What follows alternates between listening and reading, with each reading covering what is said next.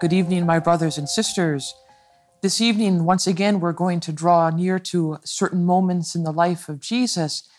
And the discovery that we're going to make this evening is that our Lord wants to engage you. He has something that He desires to ask of you. He has a task that He wants to entrust to each and every one of you. Now, so far, we've seen that what our Lord is asking of us, why Jesus wants to engage us, is because He wants to be set free from our churches. He wants to be able to walk our streets again. He wants to be able to touch people's lives, whether it be at work, at home, in our neighborhoods. And that the way that this is going to happen is by you and I becoming these joyful missionary disciples of Jesus by telling others about Him. So let's draw near to a moment in the life of Jesus to see that this is, in fact, how it all happens. So, once again, we're looking at the baptism of Jesus on the River Jordan, and we're going to listen to the testimony of St. John the Baptist. So, we're in the Gospel of St. John, chapter 1, verses 29 and following. The next day, he, that is John the Baptist, saw Jesus coming toward him and said, Behold the Lamb of God, who takes away the sins of the world. So John recognized who Jesus was. John had been prepared by our Father, he had been prepared by the Holy Spirit to be able to recognize Jesus. And when he sees Jesus, what does he do? He speaks. He proclaims, he tells others, Behold the Lamb of God who takes away the sins of the world. Now, by John bearing witness, what happened? The lives of at least two people were changed forever. These two people are Andrew and John. Now, Andrew and John didn't know who Jesus was. They weren't able to recognize him. It was by John the Baptist bearing witness, telling others about Jesus, who he was, where he could be found, that the life of Andrew and John was changed. The course of history was changed because these two men, after hearing John's testimony, they themselves drew near to Jesus and became his disciples.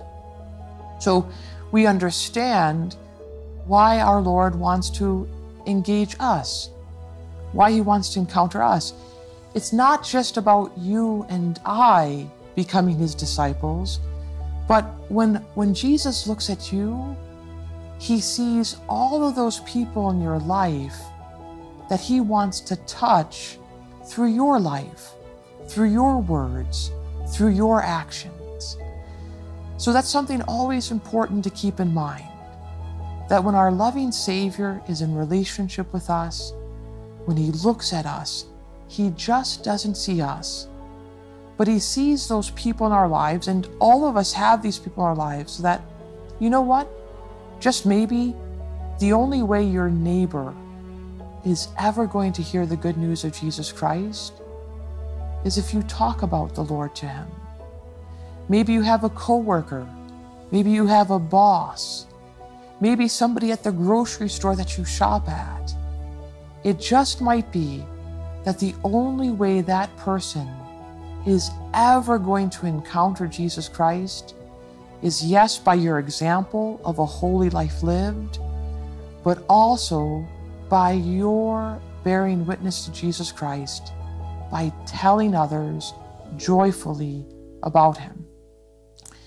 So, what we're going to do this evening is yes, we're going to draw near to other moments of the life of our Savior in the Bible, but we're going to address three objections that, you know, Father Michael, I understand what you're saying, but there's no way that you could actually be talking to me. These are three objections that commonly arise in our experience. One objection is that, well, Father, I'm too young. I'm just a kid. You know, adults are important people. I'm just a, a child. The second objection is you know what? I'm just an ordinary person. I go to work, I do the same things every day. Who would listen to me? How could Jesus really want to engage me? My life is so simple and ordinary. The third objection is Father, I'm too old. My life is very hidden. How could Jesus want to engage me? How could Jesus be asking something of me? So let us begin to answer these three objections, but let us note that there's one thing that these three objections have in common. Basically, what you are saying is, My life doesn't matter. And we know that's not true because Jesus Christ died on the cross for love of you.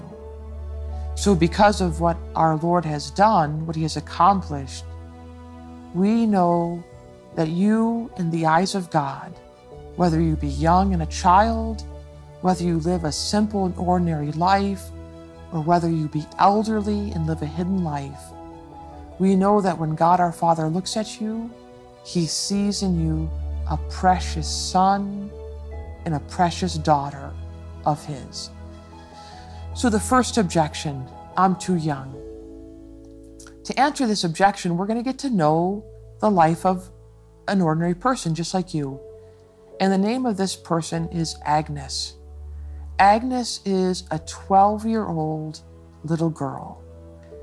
But let's listen to the experience of Agnes when she welcomed Jesus into her life, when she allowed Jesus to engage her Listen to the words of this 12 year old girl. Listen to how she speaks about Jesus to others. This is what she says Jesus is my only spouse.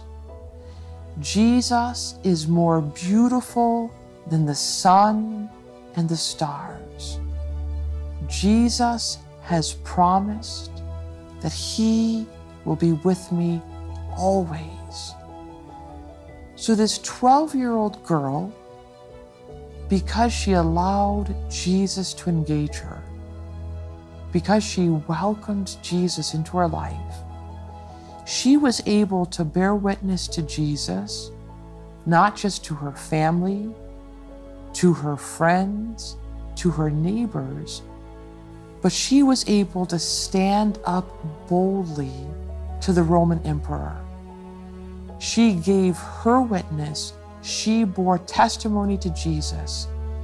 And because of her faith, because of her relationship with Jesus, she gave the supreme witness of shedding her blood for love of Jesus Christ.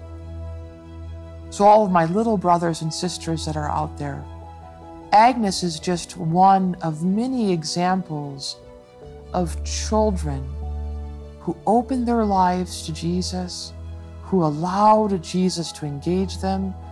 And because they did that, they went on to do extraordinary things for the kingdom of God.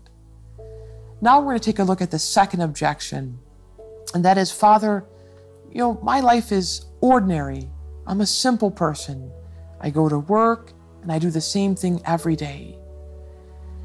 Now, to answer this objection, we're going to get to know somebody just like you, an ordinary person. And we're looking at the Gospel of St. Luke, chapter 5. We're going to get to know the story of a man named Simon. Simon was a fisherman. He lived a very ordinary life. He did the same thing every day. He prepared his nets, he got in his boat, he spent the night out on the sea catching fish.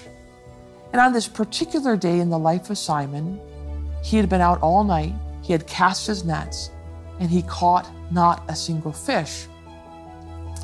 And he had come into shore, and he was cleaning his nets, and he was mending his nets.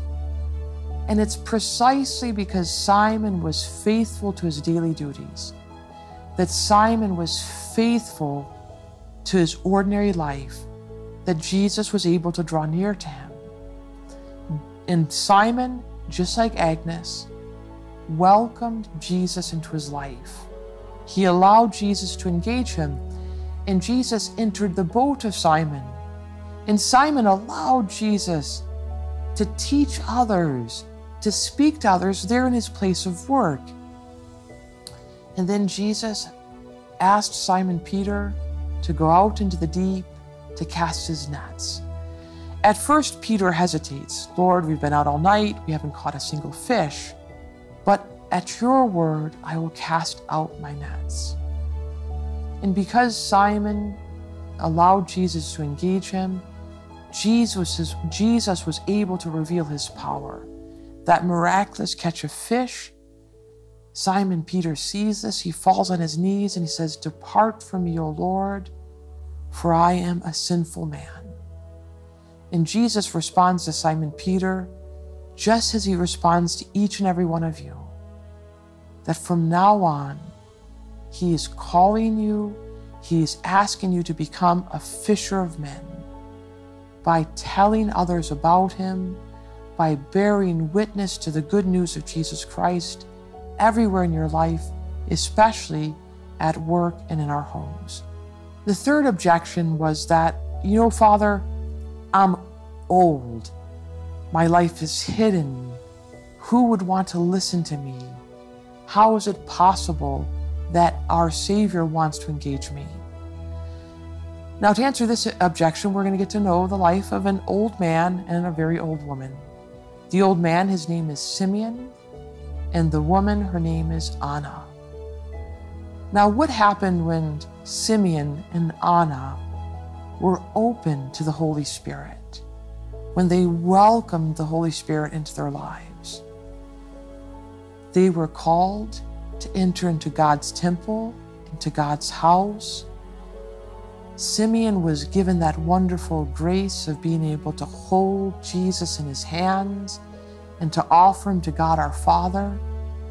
Simeon was then called upon to bear witness to Jesus, to bear witness to the Messiah within God's house. And Anna had this very same experience. Because she allowed the living God to engage her, she was able to encounter Jesus. And then she was called to bear witness to Jesus within our Father's house. So, my older brothers and sisters, your life is so precious in the eyes of God our Father.